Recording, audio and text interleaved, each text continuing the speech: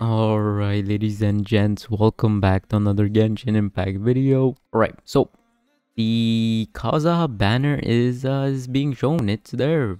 Um. Oh, and a new Archon quest and the weapon banner itself. Ooh, baby, a lot to cover. Alright, so the weapon banner this time around is kind of bad. Reason why I say it's kind of bad is because well, it doesn't have anything useful so in my free-to-play account, um, I already have the Alley Flash. I summoned once on the weapon banner just to get a 4-star bow. And I got the Alley Flash. Not the Alley Flash, but the Alley Hunter. It's bad. It's not good. It's not good at all. I wouldn't recommend anyone to get these weapons. None of these weapons. They all suck.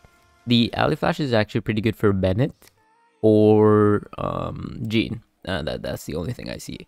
But if you do get the Alley Flash 2, it will work pretty well with Kazuha as well. So, I don't know. It, it just doesn't look good for me here. It's The Skyward Atlas sucks. the Freedom Sworn is really good for only Kazuha, Jean, and maybe Bennett. Uh, but that's about it. Everything else kind of sucks. The Dragon's Bane is good on Hu Tao, but that's pretty much it. So, you're free to play, skip this banner immediately. Just don't even think about it. But here is all the stuff for this one.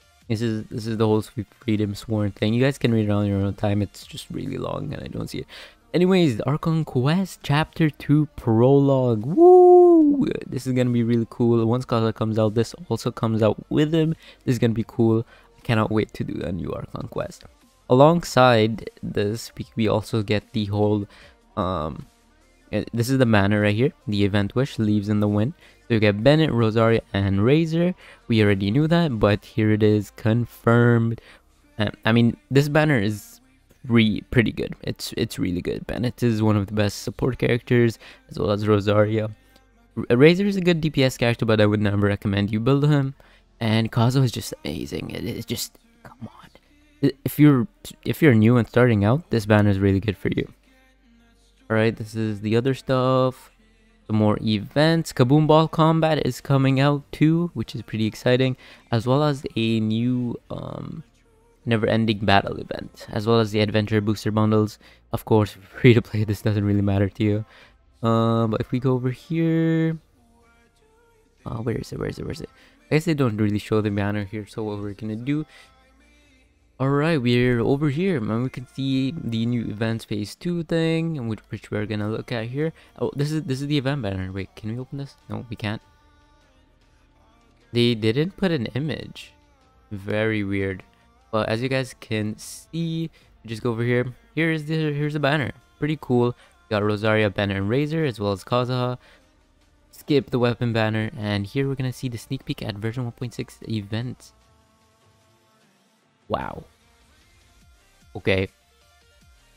So, looks like it's kind of broken, but it's fine. Anyways, I mean, that's pretty much it for the video. I just wanted to talk about a little bit on the event banner, as well as the other event banner for the weapons.